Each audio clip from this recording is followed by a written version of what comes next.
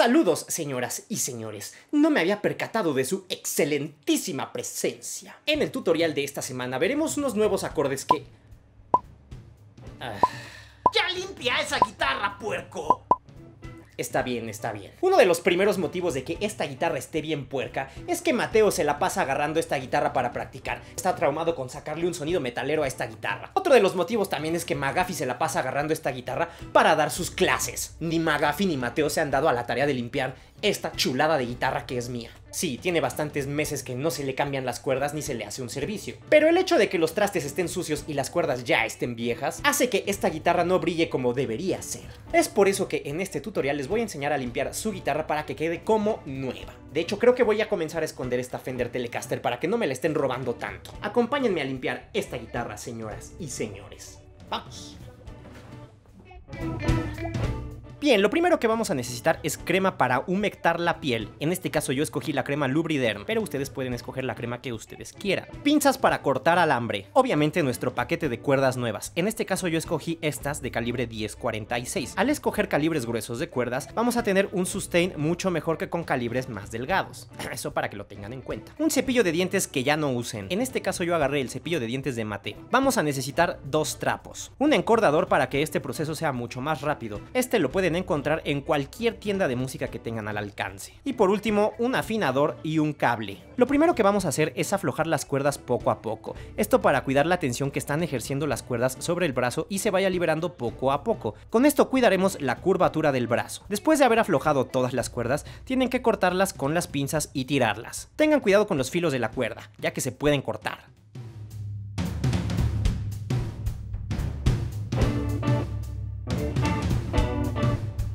Ya que nuestra guitarra está sin cuerdas, echaremos la crema solamente en el brazo de la guitarra y dejaremos reposar por alrededor de 10-15 minutos. Esto va a hacer que la madera se humecte.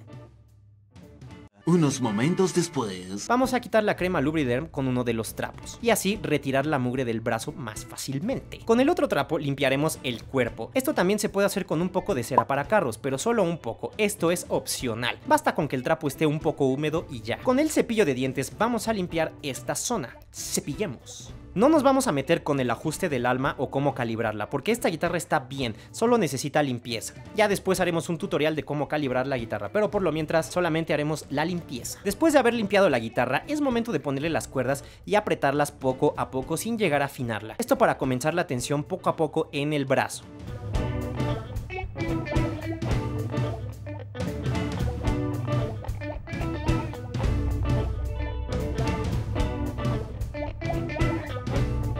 Y ahora sí, comencemos a afinar poco a poco. Obviamente la guitarra se va a estar desafinando, así que haremos un proceso llamado templado. Esto se hace para que poco a poco las cuerdas se acomoden a la tensión que queremos. Haremos este proceso hasta que la afinación se mantenga lo más estable posible.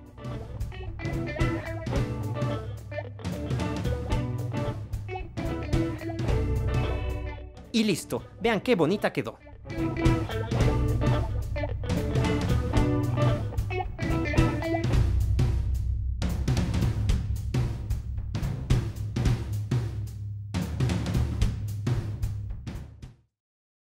Y bien señoras y señores, es así como dejamos como nueva y completamente limpia una guitarra usando material que nos encontramos en casa. Y ustedes se preguntarán, ¿habrá algún cambio en el sonido? Y para saber si el sonido cambió, he grabado un par de acordes. La primera versión que van a escuchar es antes de que cambiáramos las cuerdas y limpiáramos la guitarra. Y la segunda versión que van a escuchar es con las cuerdas nuevas y la guitarra completa y totalmente limpia. Escuchemos.